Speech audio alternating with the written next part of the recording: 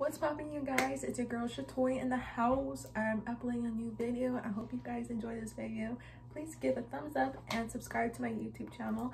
I'm so excited to upload another video, which I'm like, yay! So, this video isn't gonna be a shopping haul. I know you guys are kind of like, Tori, I'm over it. Let's scoot the boot and do a new haul. But this time, it's gonna be a Bath and Body um, haul from the semi-annual sale to the 50 percent off um, products. I'm just gonna keep rolling with the video because I don't know how to edit.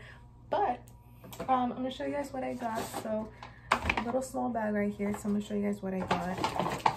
So I got some scents, um, cinnamon spice vanilla, and then I got Caribbean Escape.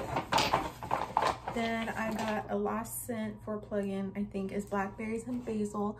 I really like the scent. I would say is for um probably spring and summer vibes, you know. So that's what I was thinking to use it for.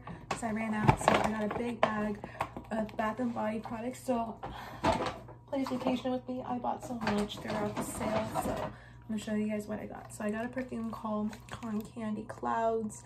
I'm obsessed with this scent. It's my favorite. It kind of smells like cotton candy in a way. Um, I got You're the One pink chiffon.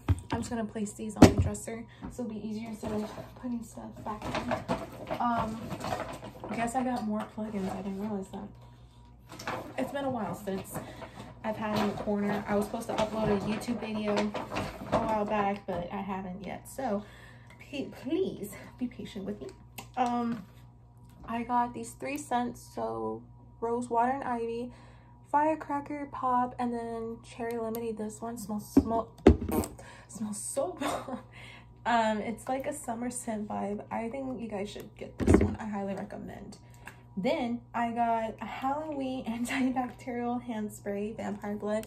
This one i feel like is my favorite scent um, for halloween. And even girlfriend that one is my favorite.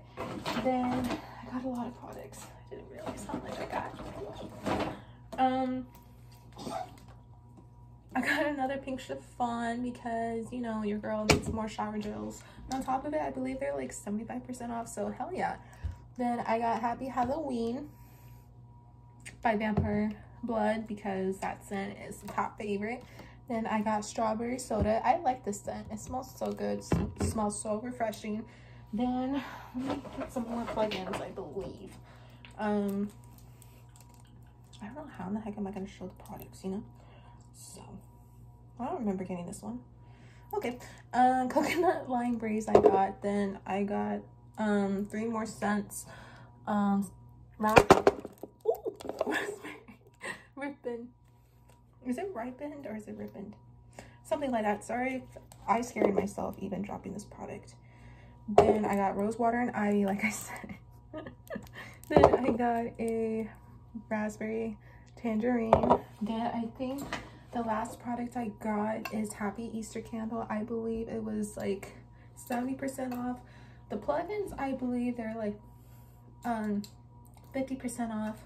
But I had the 20% off coupon, so that helped a lot for my entire purchase. And even um, half of my products were 75% off and half of them were 50% off.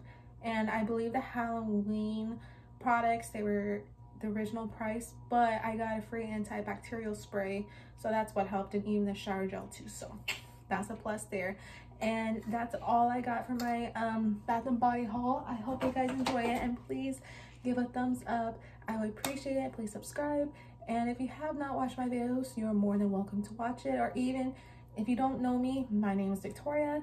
Um, I'm originally born and raised from Cali, but I live in Oregon then um, I'm 21 years old. Um, I'm turning 22 on August 24th. But I hope you guys like my video and love and kisses to you. Thank you so much for taking your time. Hope you have a wonderful day. Bye.